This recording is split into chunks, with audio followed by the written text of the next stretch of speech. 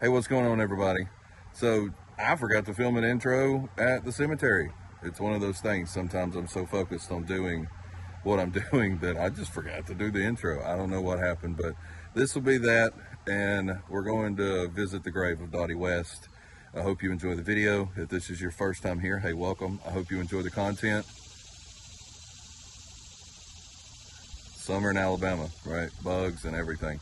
And if this isn't your first time here, hey, welcome back. I hope you enjoyed the video. If you do, if you haven't subscribed, please consider liking, subscribing, sharing, you know, doing all those things. And I got the member section, we got the merch, we got all the stuff, right? I got all the things. I try to plug all that stuff in the videos and everything. It helps the channel grow by you guys doing all that stuff. It helps me get to places and do the things that you and I get to do.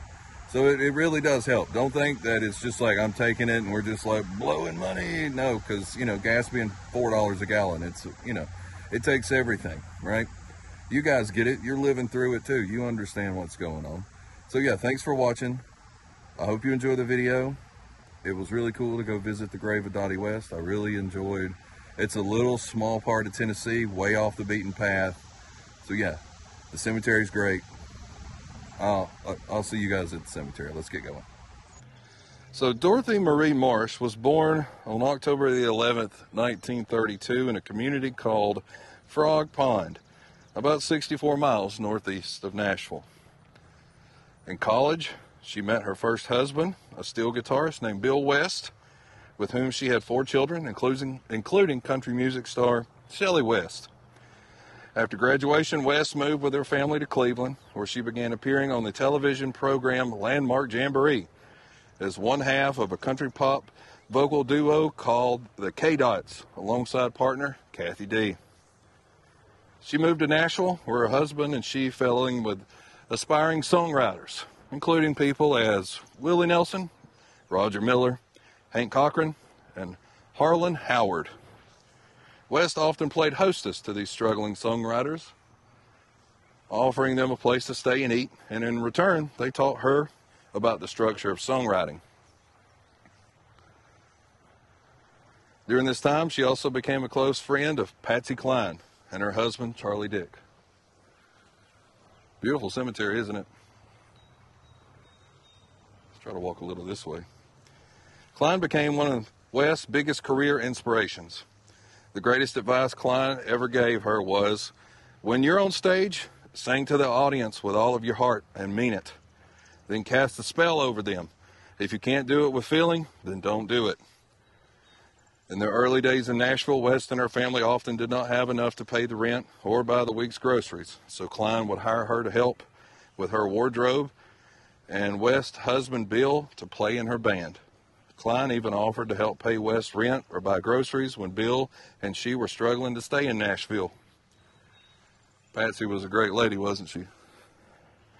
West earned her first top 40 hit in 1963 with Let Me Off at the Corner, followed a year later by the top 10 duet with Jim Reeves, Love is No Excuse. Also in 1964, she auditioned for RCA producer Chet Atkins, which, cheesy plug, We've been there and visited his grave. Who agreed to produce her composition, Here Comes My Baby. The single made West the first female country artist to win a Grammy. How cool is that, right? Here Comes My Baby reached number 10 on Billboard Country Charts in 64. After releasing the Here Comes My Baby LP in 65, West and Chet reunited the following year for Suffer Time, which generated her biggest hit yet would You Hold It Against Me? In 67, the West Atkins pairing issued three more separate albums. During the same period, she also appeared in a pair of films Second Fiddle to Steel Guitar, and There's a Still on the Hill. She continued to have success as a solo artist during the 60s with such songs as What's Come Over My Baby and Country Girl, which garnered her an offer to write a commercial based on Coca Cola in 1970. The soft drink company liked the results so much it signed her to a lifetime contract. In 73, West provided Coca Cola with another advertisement featuring a song called Country Sunshine. The popularity of the commercial prompted her to release the song as a single, and it became one of her biggest hits, reaching number two on the country chart. In 77, she was due to record the song Every Time Two Fools Collide when Kenny Rogers vocals were added. Released as a duet, the single hit number one. In 1978 and 79, the duo won Country Music Association's Vocal Duo of the Year award. On August 30th of 1991, West was scheduled to perform at the Grand Ole Opry. Shortly thereafter, leaving her apartment at Nashville, West's car, a Chrysler New Yorker, stalled in front of the old Belle Meade Theater on Harding Road. West 81 year old neighbor George Thaxton spotted her on the side of the road and offered to drive her to the Opry for her scheduled appearance. appearance. In a hurry to get to the Opry on time because she didn't want to be late, Thaxton was speeding. He lost control of his vehicle while exiting the Opryland exit at a speed of 55 miles per hour. The exit ramp is stated to be 25. The car left the ramp and went airborne and struck the central divider. After the accident, Thaxton had a blood alcohol content of 0.08 and pled no contest to reckless endangerment and was ordered to complete an alcohol treatment program. West did not believe she was badly injured, as her neighbor had been, and insisted he be treated first. Officers who responded to the scene incorrectly reported she did not seem harmed at the time. West herself was under the same impression. However, she had suffered severe internal injuries and proved to have suffered both a ruptured spleen and a lacerated liver. Her spleen was removed that Friday, and the following Monday she underwent two more surgeries to stop her liver from bleeding. Those efforts ultimately failed. Doctor said that West knew the extent of her injuries and even visited with Kenny Rogers shortly before her last operation. And on 7, September the 4th, 1991, during her third operation, West passed away on the operating table at 58 years old. And here we go. Dottie West. Dorothy Marie Marsh West. Our country sunshine. Beautiful, isn't it? And then beloved daughter, wife, and mother. And she has a foot piece, Dorothy West, right there. 32 to 91.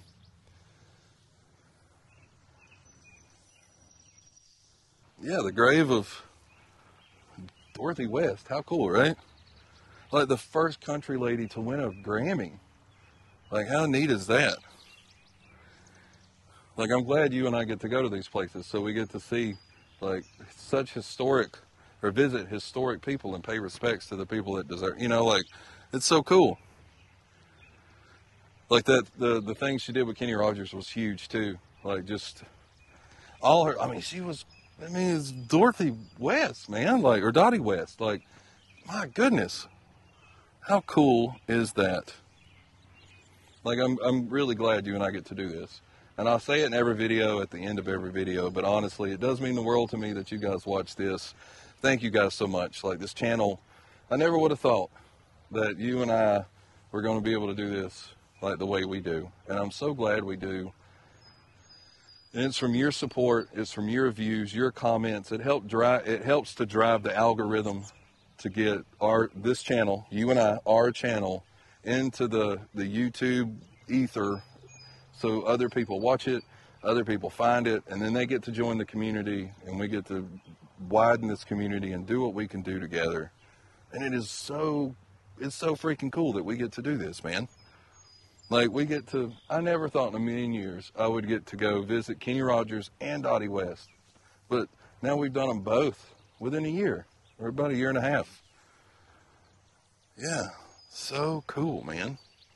So yeah, thanks for watching. Like legit, this means the world to me. Like I'm glad you enjoy these videos. If you've made it this far, thank you so much. I honestly can't thank you enough. Comment down below, like what your favorite song was by Dottie and what you enjoyed, or something else about her, or if you have another If there's another grave you would like me to visit, like leave those down below because I'll put every one of those on file. Everything that you suggest goes into a book or it goes on that dry erase board that you've seen in some of my videos. And it's like one of these days, we're going to get to all of them. It's just going to take time, but we're going to get there. And with the world the way it is, yeah, it makes it tougher, right? Like I said in the in the beginning, we have all this stuff to help me get there, but nonetheless, we're going to get there. Like you and I are going to get to go visit these places, and it may take a while. So we may have to go visit other things and do other things until we can get to visit those graves or whatever we go visit. It just may take a little bit to get there.